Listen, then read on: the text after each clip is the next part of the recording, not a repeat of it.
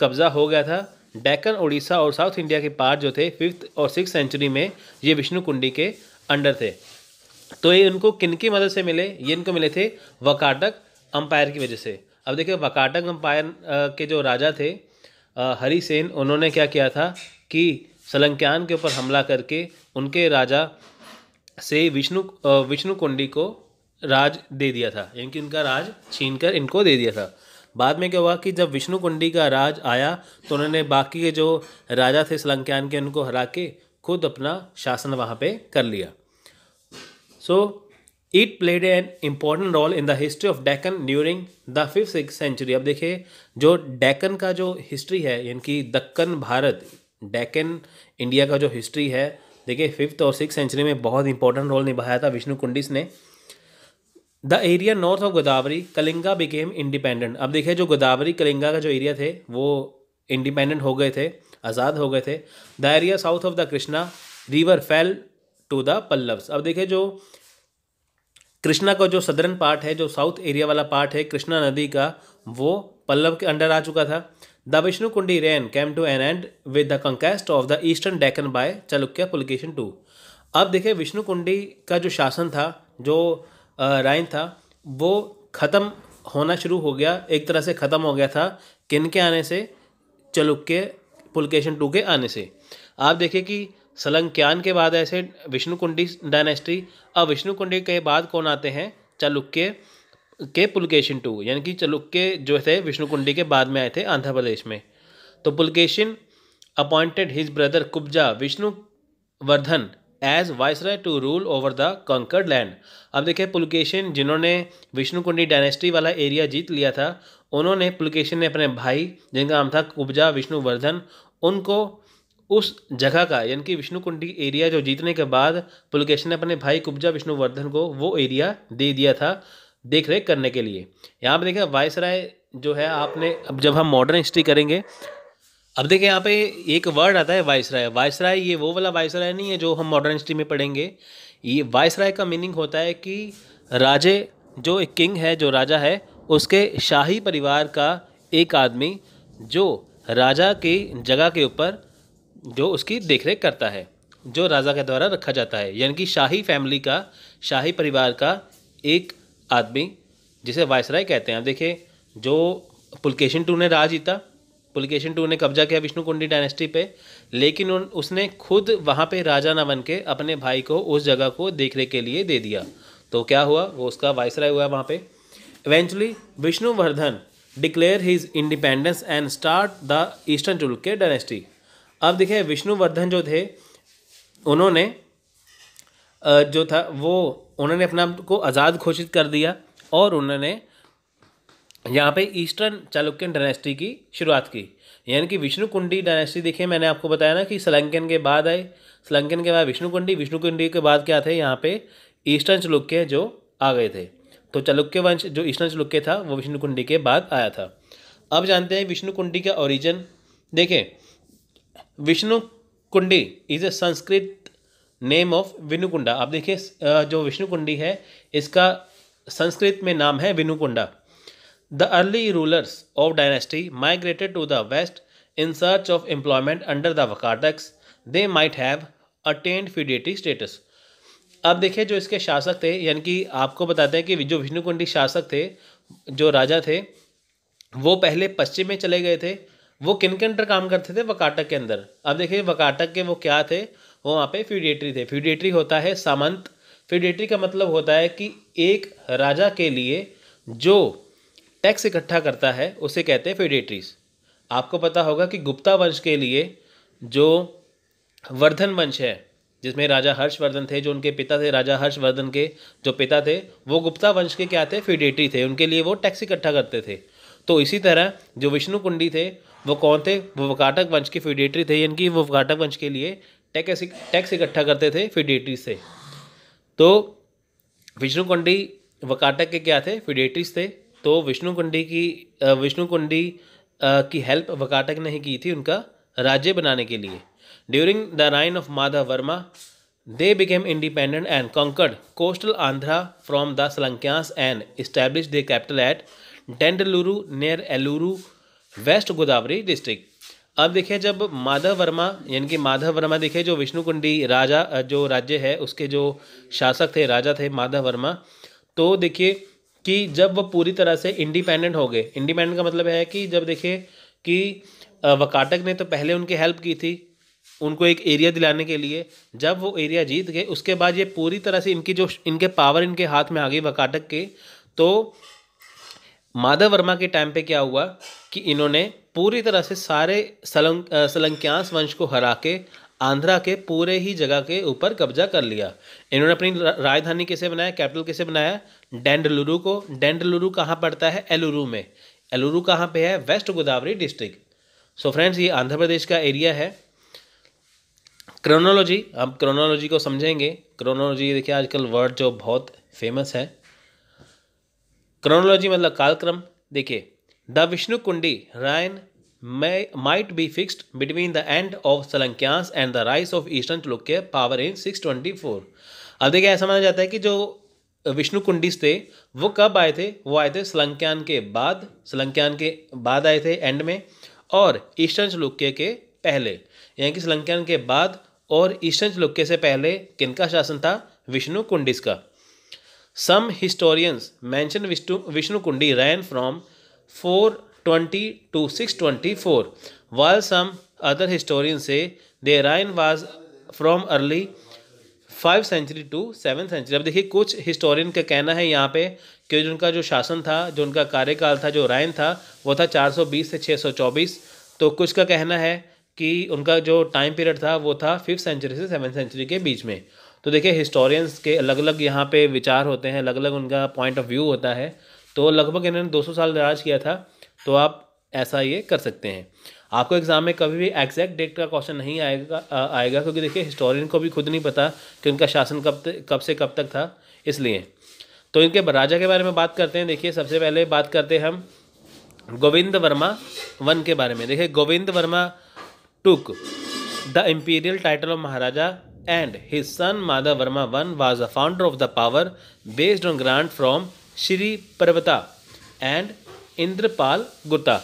आप देखिए, यानी कि जो गोविंद वर्मा जो थे, गोविंद वर्मा वन, ठीक है? गोविंद वर्मा जो वन थे, इन्होंने इनको इन्होंने इनको कौन सा टाइटल था? इनको महाराजा का टाइटल दिया गया था। और जो इनका बेटा था माधव वर्मन वन, ठीक है? जो माधव वर्मन वन जो इनका बेटा था तो वो असली सत्ता, इनकी जो विष्णु कुंडिस को जो पावर है, असली सत्ता उसके बाद ही आई थी। यानी कि माधव वर्मन वन जो था, एक अच्छा एक शासक था, ठीक है? तो उसके शासन से ही क्या हुआ कि एक अच्छी जो उनकी जो पावर थी, बहुत ज़्यादा इंक्रीज हो गई थी। उसके बाद आते हैं माधव वर्मा वन, ये कौन है? गोविंद वर्मा वन के बेटे हैं। दराइन और माधव वर्मा, किरका इनकी सी डॉट का मतलब होता है किरका। किरका मतलब होता है अप्रॉक्सीमेशन यानी कि उनको पता नहीं है, इनका टाइम पीरियड क्या है तो यहाँ पे सी डॉट लगाते हैं। सी डॉट मतलब अप्रॉक्सीमेशन तो देखिए, इनका जो टाइम पीरियड था 420 से 455 इनकी तीन, तीस साल था। He was the founder of Vishnu Kundis power Vishnu Kundi power का ये मतलब है कि इनके टाइम पीरियड में इनकी जो पावर थी विष्णु कुंडी की, बहुत ज़्यादा इंक्रीज हो गई थी। माधव वर्मा टू, माधव वर्मा जो टू थे, देखिए ये कौन थे? ये माधव वर्मा वन के बेटे थे। तो by the middle of the fifth century the dynasty began its imperial expansion under its most efficient ruler Madhav Varma two. Who ruled for nearly half a century अब देखिए, ऐसा माना जाता है कि जब पाँचवीं शताब्दी की जब फिफ्थ सेंचुरी आई तो माधव वर्मा टाइम जब माधव वर्मा टू थे, उनके टाइम पीरियड में क्या हुआ? जब फिफ्थ सेंचुरी का हाफ़ आया, तब जो इनकी पावर थी विष्णु कुंडी की, बहुत ज़्यादा एफिशिएंट हो गई थी, बहुत ज़्यादा बढ़ गई थी। The reign of Madhav Varma was a golden age in the history of Vishnu Kundi. आप देखिए क्वेश्चन एग्ज़ाम में आ सकता है कि बताइए कि किस विष्णु कुंडी के किस राजा के शासनकाल को या विष्णु विष्णु कुंडी के किस राजा के टाइम पीरियड को गोल्डन टाइम पीरियड कहा जाता है, वो है Madhav Varma two. It was during this period the small Vishnu Kundi dynasty rose to imperial heights देखिए, इस समय क्या था? इस टाइम पे बहुत ज़्यादा हाई पे था विष्णु कुंडी का साम्राज्य। A prince of the then powerful ruling family of the Deccan the Vakataka was given in marriage to Madhav Varma son Vikramendra Varma अब देखिए यहाँ पे क्या था कि जो एक राजकुमारी थी, ठीक है, डेक्कन में देखिए जो वकाटक की जो एक राजकुमारी थी तो उनकी जो फैमिली है देखिए जो वकाटक के जो राजा थे, उनकी एक बेटी थी, जो राजकुमारी थी, उसकी शादी जो थी, वो माधव वर्मा के बेटे विक्रेंद्र वर्मा के साथ हुई थी। The alliance gave them the great power and made it easy for them to extend their influence to the east coast and vanquishing the petty chieftain lingering on that area अब देखिए, जब इनकी मैरिज हो जाती है, वहाँ पे क्या हुआ कि इनकी मैरिज इनकी, जब देखिए उस राजकुमारी के और विष्णु कुंडी के वंश के विकमेंद्र वर्मा के साथ जब मैरिज हो जाती है, उस मैरिज के बाद देखिए इनको काफ़ी बेनिफिट मिला। इनकी जो पावर थी वो डबल हो गई। और डबल होने के बाद क्या हुआ कि उसके बाद जो देखिए, वो जो एरिया था, यानी कि जो एरिया था ईस्ट कोस्ट का, वो इनके कब्जे में आ गया। उनके ऊपर देखिए, पहले किसी और का जैसे हक था, उसको इन्होंने पावर इंक्रीज करने के बाद उनको वहाँ से भगा दिया, हटा दिया, उसके बाद इनकी वहाँ पे पावर बन गई। Madhav Varma two lead the arms against Anant Gotrika who were ruled over Guntur Tenali and Ongole probably enjoy subordinate position under the Pallava of Kanchipuram अब देखिए, जो माधव वर्मा टू थे, जो माधव वर्मा द्वितीय थे, उन्होंने अनंत गोत्रिका राजा को हरा दिया। अनंत गोत्रिका के अंदर, देखिए, अनंत गोत्रिका कौन थे पहले तो? ये थे, जो कांचीपुरम के जो पल्लव थे, ये उनके अंडर काम करते थे और इनके अंडर जो था, गुंटूर, तिनाली और ओंगोल का एरिया था। अब माधव वर्मा टू ने इसके ऊपर हमला करके ये जो गुंटूर तेनाली ओंगोल का एरिया अपने कब्जे में कर लिया।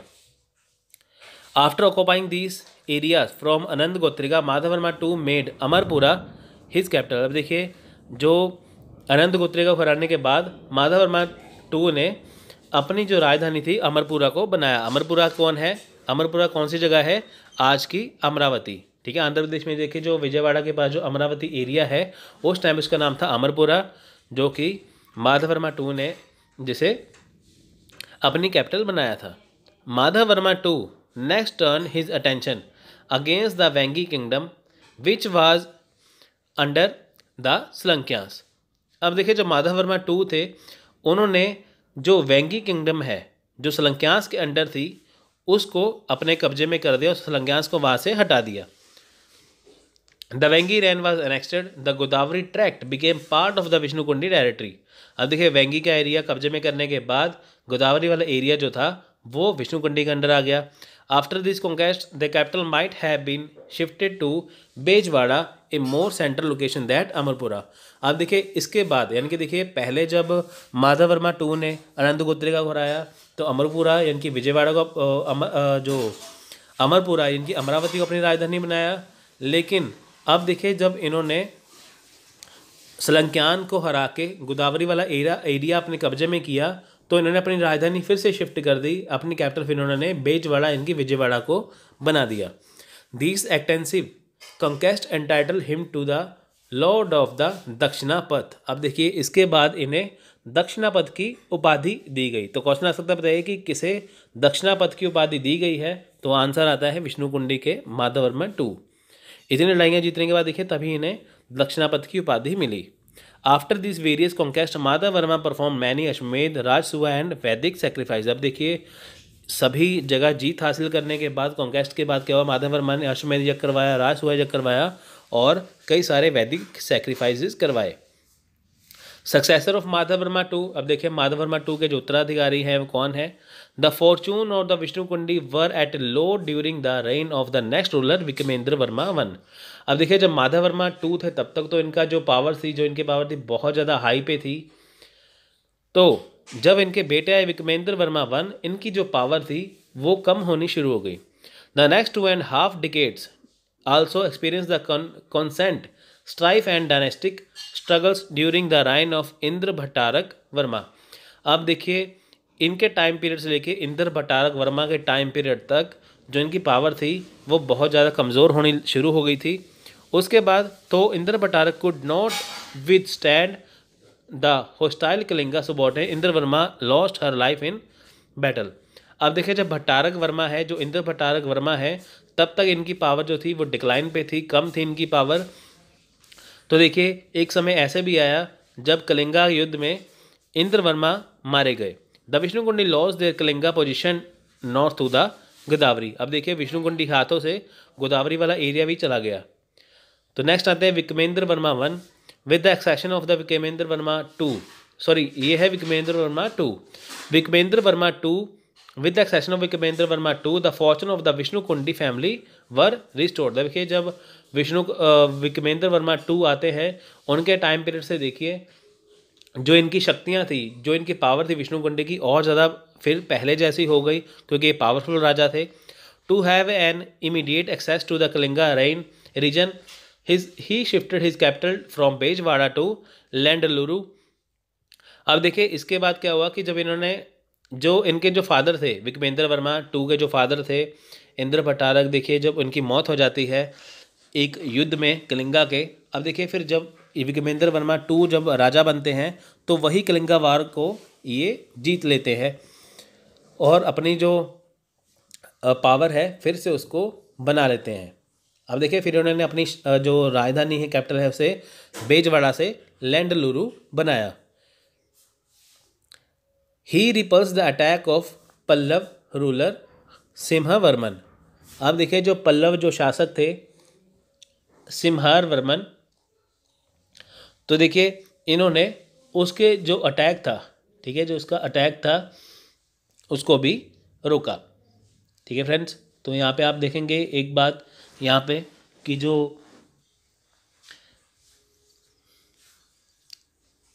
पल्लव वंश के देखें यहाँ पे जो पल्लव वंश के जो शासक थे, सिंह जो सिंह वर्मन ठीक है, वहाँ पे इन्होंने हमला कर दिया। He was successful enough to restore the fortunes of the Vishnu Kundi in the Kalinga reason अब देखिए, इसके बाद क्या हुआ कि कलिंग क्षेत्र में, यानी कि कलिंग का जो एरिया है, वहाँ पे देखिए विष्णु कुंडी का फिर फिर से कब्जा हो गया। His son Govind Varma two enjoyed a comparatively short period of rule अब, इनके जो बेटे आते गोविंद वर्मा टू उनका टाइम पीरियड वो काफ़ी कम था। अब देखिए गोविंद वर्मा टू के बारे में जान लेते हैं।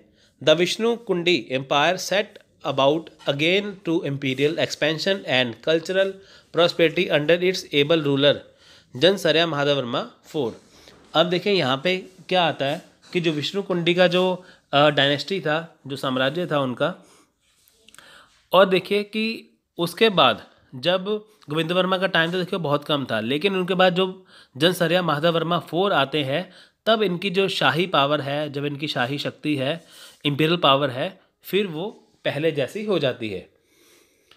तो उनमें देखिए काफ़ी चेंज देखने को मिलता है, हमें काफ़ी कल्चरल चीज़ें देखने को मिलती हैं। जब आते हैं Janasraya Madhav Varma four the prudent king spent his early year of the rule in consolidating his position in Vengi अब देखिए, गोविंद वर्मा टू की बात करते हैं। देखिए वेंगी में देखिए इन्होंने अपनी जो स्थिति थी, जो जो स्थिति थी उस समय की ठीक है, उस समय का जो इनका जो टाइम था, उसको अच्छा करने के लिए, मज़बूत करने के लिए इन्होंने वहाँ पे काफ़ी टाइम बिताया।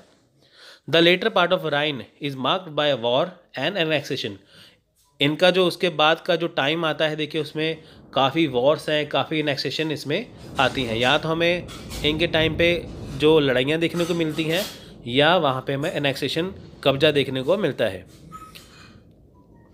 In his thirty seven regional regional year he suppressed the revolt of his subordinate chief the Durjaya Prithvi Maharaj in Gudadvija ठीक है? यहाँ पे देखिए क्या आता है कि जब ये सैंतीसवें वर्ष में थे, यानी कि जब ये सैंतीस साल के थे थर्टी सेवन ईयर के थे, तब देखिए यहाँ पे इन्होंने जो महाराज गुड्सविया जो था, जो इसका एरिया था पृथ्वी महाराज का इस एरिया को इन्होंने रिवोल्ट जो था, उसको दबा दिया। इनकी वो रिवोल्ट को इन्होंने नहीं होने दिया। Madhav Varma four had to face the Chalukyan on onslaught in his last year of rule अब देखिए जो माधव वर्मा जो फोर है यानी कि जो माधव वर्मा चतुर्थ जो फोर है, उन्होंने देखिए अपने अंतिम सालों में क्या किया? उनके अंतिम टाइम पीरियड में, माधव वर्मा फोर के अंतिम टाइम में क्या हुआ कि चालुक्य का हमला हो गया। यानी कि देखिए पावर कहाँ से शुरू होकर माधव वर्मा फोर तक आती है। माधव वर्मा फोर पे, एक के टाइम पे क्या हुआ कि ईस्टर्न चालुक्य का हमला होना शुरू हो गया। तो जब ईस्टर्न चालुक्य का हमला होना शुरू हो गया तभी से ये शासन की, जो इनका जो राइन था, जो इनका शासन था, इनके पावर कमज़ोर होनी शुरू हो गई। तो इसकी वजह से ही यहाँ पे चालुक्य का कब्ज़ा होना शुरू हो गया। By about six one six छः सौ सोलह, Pulakeshin two and his brother Kubja Vishnuvardhan conquered Vengi from the Vishnu Kundi and the Pithapuram area from subordinate Durjayas अब देखिए 616 ईस्वी में पुलकेशन टू ने हमला किया और पुलकेशन टू ने अपने भाई कुब्जा विष्णुवर्धन के साथ वैंगी को अपने कब्जे में कर लिया, जो कि पहले विष्णुकुंडी के पास था। In 621 in his 48 regional year Madhav crossed Godavari probably to out the from his territory he must he lost his life to the battle ground अब देखें जब ये माधव वर्मा फोर, जब 48 यानी कि 48 साल के थे, तब देखिए 621 ईस्वी में इन्होंने चालुक्यों को हटाने के लिए उनके ऊपर हमला किया। कहाँ पे हमला किया? गोदावरी वाले एरिया में। लेकिन माधव वर्मा फोर वहाँ पे मारे गए।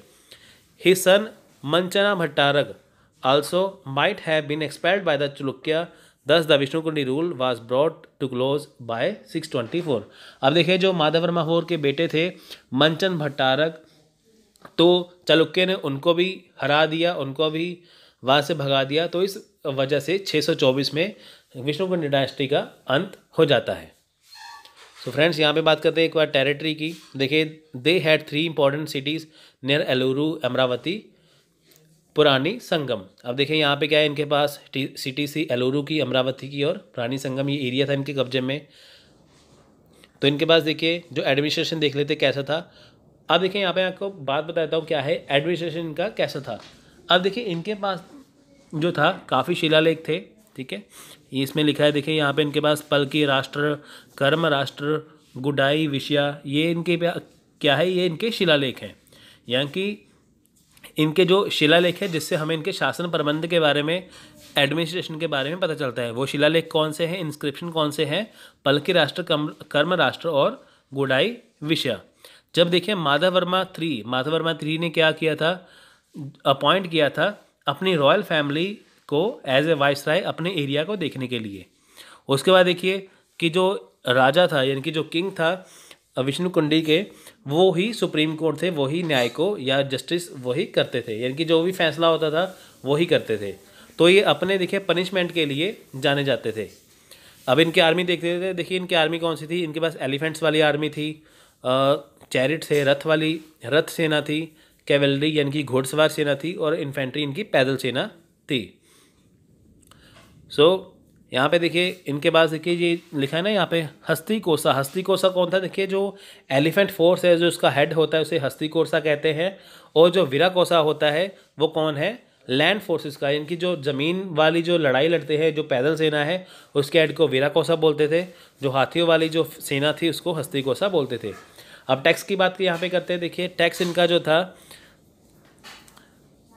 देखिए, इनका जो टैक्स था, वो देखिए कैसा था। देखिए, इनका जो टैक्स था, वो काफ़ी अच्छे तरीके से था इनकी वेल ऑर्गेनाइज जो इनका टैक्स था, जो अग्रगाहा गाँव, यानी कि जो अग्राहा विलेज थे, उनको टैक्स से छूट मिली थी, उनके ऊपर कोई टैक्स नहीं था। तो क्वेश्चन आ सकता बताइए कि इन्होंने किसके ऊपर टैक्स नहीं लगाया था? अग्राहा विलेज के ऊपर टैक्स नहीं लगाया था। तो सोलह सिक्सटीन टाइप के इनके क्वाइंस मिलते हैं विष्णु कुंडी के। ठीक है? सिक्सटीन टाइप के इनके क्वाइन मिलते हैं। तो यहाँ पे बात करते हैं रिलीजन के बारे में। देखिए, धर्म जो था, देखिए, सबसे पहले बात करते हैं विष्णु कुंडी के जो माधव वर्मा द्वितीय है, जो माधव वर्मा टू है, उससे पहले देखिए सभी हिंदुज़म में राजा माने जाते हैं। यानी कि माधव वर्मा टू से पहले राजा जो थे, वो हिंदू थे, लेकिन जब माधव वर्मा टू आए, उनके बाद देखिए उन्होंने काफ़ी तरह के यज्ञ करवाए। इस वजह से वो ब्राह्मणवादी जो एक विचार लेके आए थे। यानी कि माधव वर्मा टू से पहले सभी हिंदू थे, लेकिन बाद में वो कट्टर ब्राह्मण जाने जाते हैं माधव वर्मा टू के बाद। उसके बाद देखिए लिटरेचर। लिटरेचर जो था, इनका देखिए साहित्य देख लेते, क्या है देखिए, विष्णु पंडे के टाइम पे जो साहित्य था, वो काफ़ी अच्छा था, ठीक है? तो कुछ राजा जो इनके थे, वो खुद भी उन्होंने काफ़ी चीज़ें लिखी थी। अब देखिए यहाँ पे लिखा ना सम ऑफ़ विष्णु कुंडी किंग वर क्रिएटेड ऑथरशिप अब देखिए कई जगह पे हमें मिलता है कि जो विकिमेंद्र वर्मा वन थे, इन्होंने जो विकिमेंद्र वर्मा जो वन थे, उन्हें महाकवि कहा गया है। ठीक है? यानी कि देखिए, इनके टाइम पे जो था, इन्होंने काफ़ी स्कूल बनवाए। लिटरेचर देखिए, इन्होंने काफ़ी स्कूल बनाए, कई कॉलेज बनाए, उनको एक काफ़ी ज़मीनें दान में दिया करते थे। और ख़ुद भी जो विकमेंद्र वर्मा जो वन थे, वो भी एक महाकवि के रूप में जाने जाते हैं, यानी कि वो खुद भी एक कवि थे। तो इनका जो आर्ट एंड आर्ट देखिए जो इनका आर्ट एंड आर्किटेक्चर है, वो कैसा था? तो देखिए, ये सभी इनके being great devotees of Shiva the Vishnu Kundi seem to have been responsible for construction a number of cave temple of dedicated to dedicated to Shiva आप देखिए, शिव के बड़े भगत थे आपको पता है कि ये हिंदू साम्राज्य, इनकी ये, इन्हें हिंदू हिंदुज़म से रिलेटेड थे तो ये शिव के बहुत बड़े भक्त थे तो इन्होंने शिव जी के लिए काफ़ी मंदिर बनवाए थे। तो देखिए, बेजवाड़ा, विजयवाड़ा में काफ़ी केव स्ट्रक्चर मिलते हैं, जिससे हमें इनके हिंदुज़म के बारे में पता चलता है। तो देखिए, यहाँ पे हमें काफ़ी चीज़ देखने को मिलती हैं। हमें पल्लव जो महेंद्र वर्मा वन है, उससे पता चलता है कि जो विष्णु कुंडी के टाइम पे देखिए कि इनका काफ़ी कंट्रीब्यूशन था केव्स आर्ट के केव टेंपल बनाने के लिए। यानी कि देखिए यहाँ पे लिखा है ना केव टेम्पल्स तो केव टेंपल देखिए इन्होंने काफ़ी केव टेंपल बनाए थे, जिसमें शिव की, शिव के मंदिर भी थे और कई मंदिर थे, हिंदू मंदिर थे। सो देखिए the big four storey cave at Undavalli and at cave temple in in Nellore district show however clear resemblance with the architecture of Pallava Mahendra Varma period तो देखिए लास्ट में यही बात करते हैं कि जो उडावली में जो चार मंजिला, इनकी जो फोर स्टोरी जो एक गुफा है और जो नेलोर के पास जो आठ, जो एट स्टोरी जो गुफा है, वो किसने बनाई थी? वो बनाई थी महेंद्र वर्मा वन ने। सो so फ्रेंड्स ये था आज का लेक्चर विष्णु कुंडी के ऊपर। सो अगर आपको लेक्चर अच्छा लगा तो लाइक और शेयर करना मत भूलिए। सो मिलते अगली